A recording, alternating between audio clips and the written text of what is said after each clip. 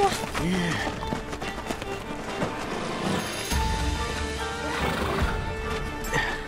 公主怎么了？公主怎么了？公主寒疾发作，快带她去温泉。等等，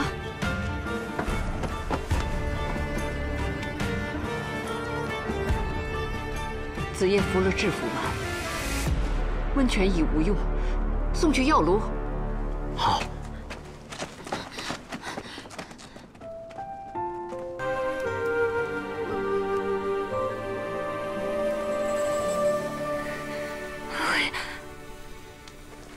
公主，你醒了。公主，你醒了，有没有觉得不舒服呀？没事吧，公主？公主，冷不冷？来，慢点。公主，我去给你倒杯水吧。霍公子，霍公子，公主醒了。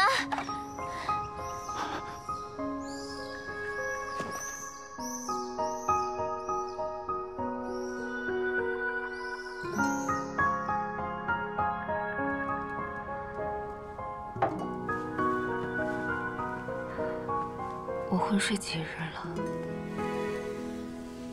有一阵子了。公主刚刚很不可以，可是做了噩梦。可是梦到魔家村的人们了。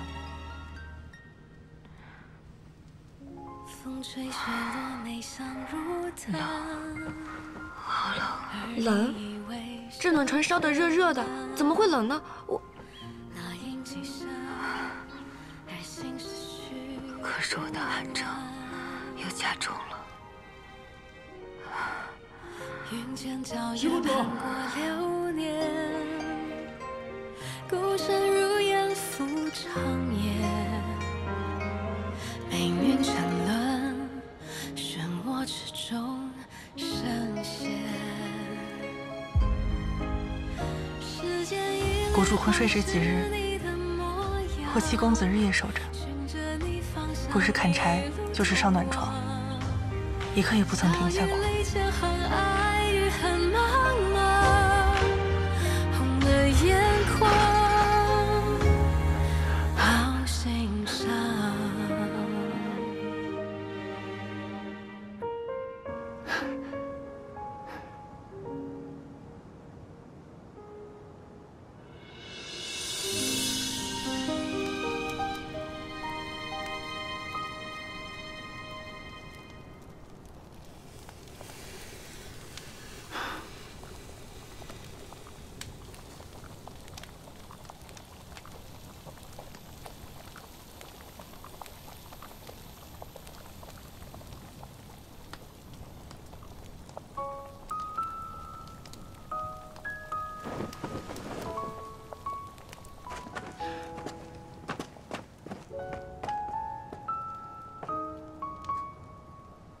伤都好了，你的寒疾怎么样了？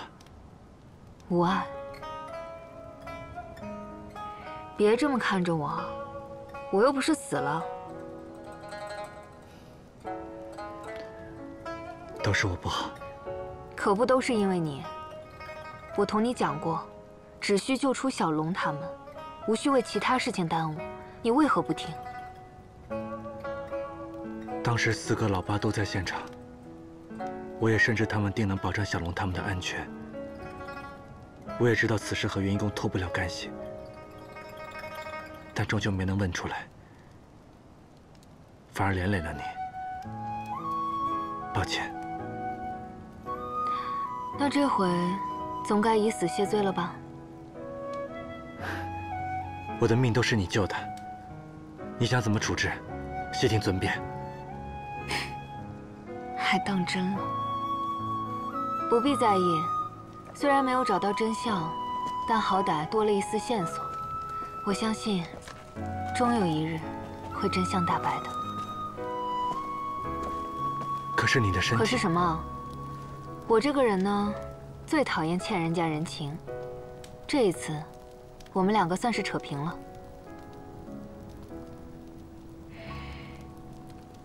我这药师谷里头，四季景色各有别致，有的是美景。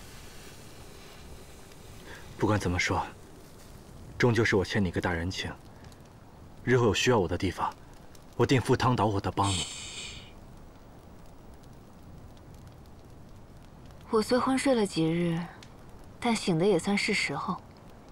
掐指算算，昙花应该在今夜就会开放。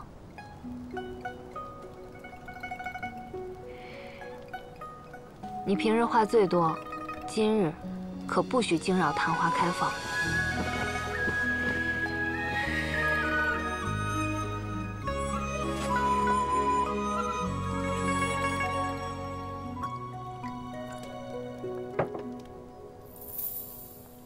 谁见摇橹中香缓缓透过窗，诉说到底垂暮而你轻抚上，寻你目光，落花掌心你见过昙花开吗？开口心事全抹下。没有。你呢？月光探远江儿时祖父总是带着我，一起等待昙花绽放。他怕我年幼坐不住，就会提前去京城的集市上，给我买许多的透花瓷，让我边吃边等。可是每一回，我都是吃着吃着便睡着了。看过很多次昙花，却没有见过它一次是开的。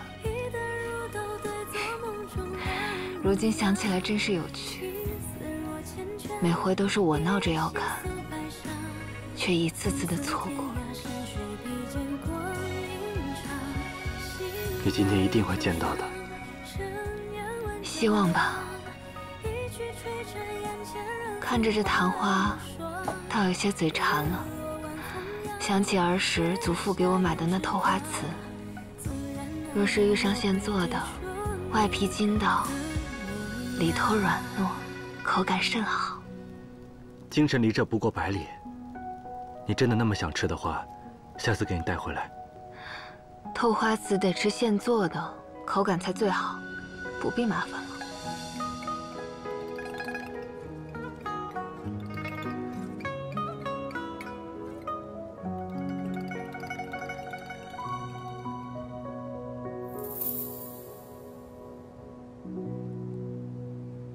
怎么了？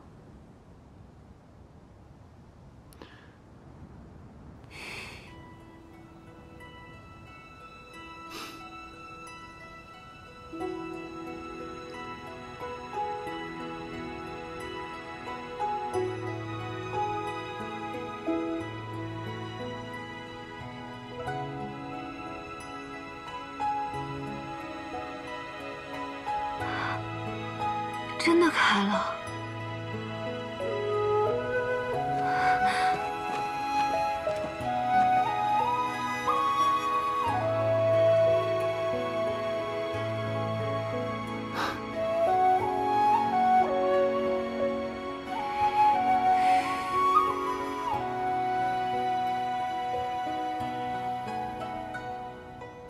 能让人心动的美丽，莫过于昙花盛开的瞬间，极短，却又铭记于心。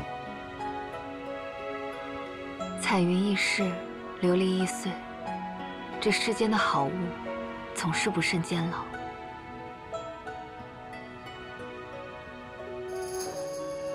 你以后别再逞强了，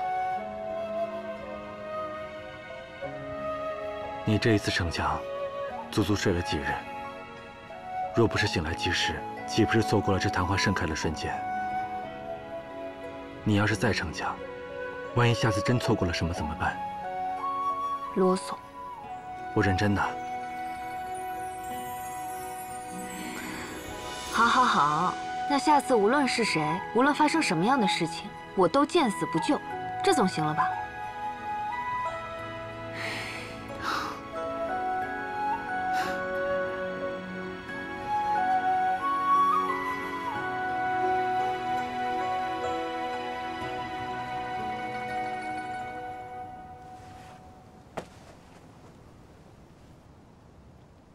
花开一瞬，的确可惜。云散终会重聚，琉璃若是悉心呵护，也不会破碎。唯有这花期难改，终究是短暂相逢。